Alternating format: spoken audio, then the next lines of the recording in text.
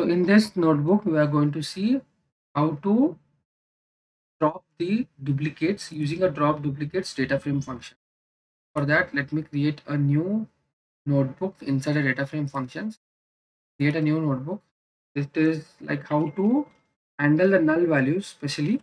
So we are going to see by using a drop duplicates duplicates okay drop duplicate data frame function let me create a new and i have already have a data with me. So i'll be just copy pasting it data to save some time. I have induced some null values inside that so that that will be used for our data. Yeah. So this is the data. So i have created a user's data importing data and time. I have all the various data types here.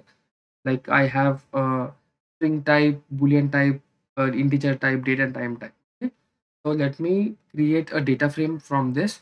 So how to create a data frame? So we need to just say data frame equal to spark dot create data frame. And you just need to pass the data here. Okay? Data and schema but let me just pass the data and check the data frame here. So users is not defined. So let me run the user cell first. It has executed. Now let me define the data frame. So it has executed. So we know that PySpark works as a lazy evaluator. So if you take a transformation to show the results you need to take an action on top of that transformation. You can see. Okay? So you got the data frame but that are not arranged in the correct sequence like how we have the data. First we have id first name last name male and so on. But here the order is in the ascending order. So to handle this type of data you need to give a schema here. Okay you need to pass on the schema. You can create your own user defined schema. Okay no worries. Now let us see how to see the data frame function called drop duplicates. So let me run help on drop duplicates. So the drop duplicates is a data frame function. So i'll use a data frame dot drop duplicates d capital here duplicates and let me execute this. Yeah so i'm i have executed here. And now you can see how many parameters is it accepts. So first is subset. That is an optional again. And it is an optional. So you can see the example here. And you can read out the more details about the drop duplicates here. So either you can use drop duplicates in this way or you can use drop underscore duplicates also. Let me show you. Yeah you can see. Drop duplicates or you can use the drop duplicates. That means both are aliasing to each other or both are synonym to each other. So you can use any of that. So let me first show you without passing any subset in that so any subset means i'm not saying anything. I'll just say data frame dot drop duplicates and let me execute it. Okay. Drop duplicates data frame function and let me use an action dot show to see the results. Before before running this i would like to show you the data here.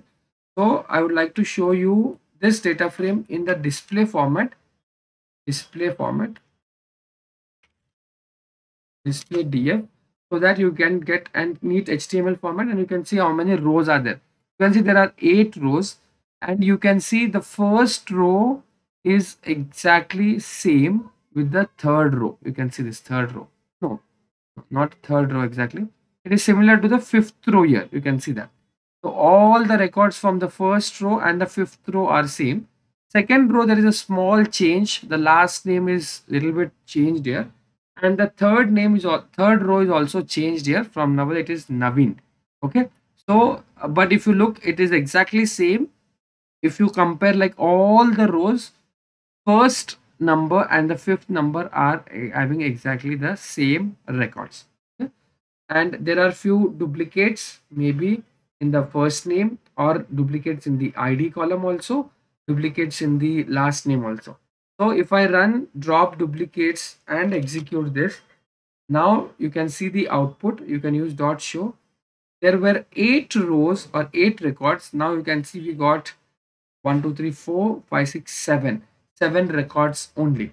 The fifth serial number now is missing or the fifth record is missing. To show you in detail let me use this in a display display function so you can find out easily so you can see one two three four now fifth record has been deleted so how does the drop duplicate function without a parameter works?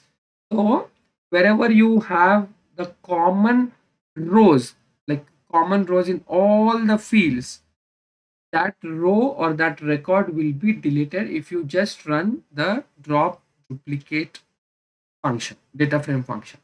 So let me let me show you another way. Suppose if you want to drop based on the only one column that is id column okay? I want to use data frame. Like i don't want any duplicates in the id column or uh, like your id column can be your primary key or primary column.